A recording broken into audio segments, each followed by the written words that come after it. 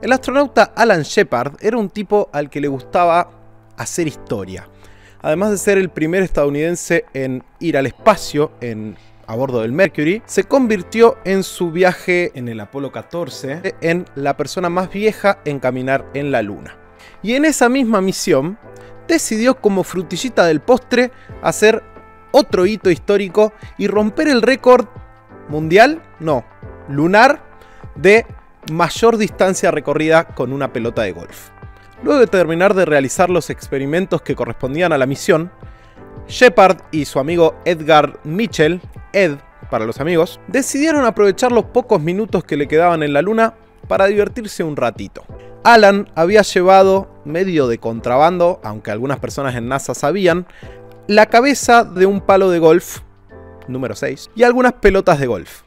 Así que, con toda la complicación que implica moverse en un traje espacial, adhirió dicha cabeza de palo de golf a un extractor de rocas lunares que ya habían terminado de usar, hizo algunos tiros y cuando logró darle a la pelota, según sus palabras, esta voló millas y millas hacia el horizonte. Minutos después, Ed, que no quería ser menos, tomó un poste que era parte de uno de los experimentos que habían realizado y lo usó de jabalina para vencer a Shepard y según él le ganó a su pelota de golf por 4 pulgadas. Y esto es lo que se conoce hoy en día como las primeras Olimpiadas Lunares de 1971.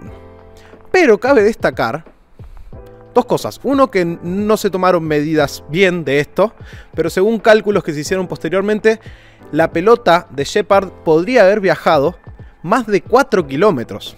Supongamos que aún si llegó solo a 2 kilómetros, le pasa el trapo al récord que tenemos en nuestro planeta, que es de 470 metros. Pero cabe destacar que para hacer Olimpiadas es un poco extraño, porque el golf se introdujo en las Olimpiadas en 1900, en 1904 lo sacaron y volvió recién como disciplina olímpica en el 2016.